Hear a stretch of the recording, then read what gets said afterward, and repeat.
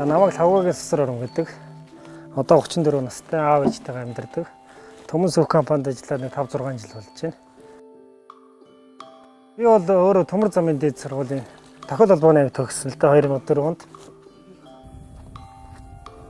Ерөнхийдөө бол гэрээсээ хол ажил хийнэ гэдэг чинь бол залуу хүний хувьд бол бас жоохон бэрхшээлтэй шүү дээ.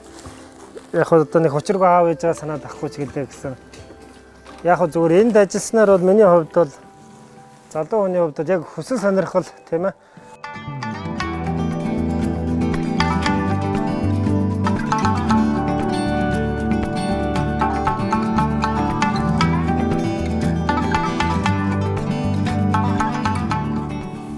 Өмнөд өмнөдийн хамтын ажиллагааны сон багшийн бол ерөнхийдөө мэдхгүй юмнуудаа нэлээ яг гоё юм зааж өгдөг тийм хүн байлаа. Хүн өөрийнхөө хүсэл сонирхлыг олно, нөгөө хийх ажлаа олно гэдэг тэр л миний хувьд бол болсон л доо.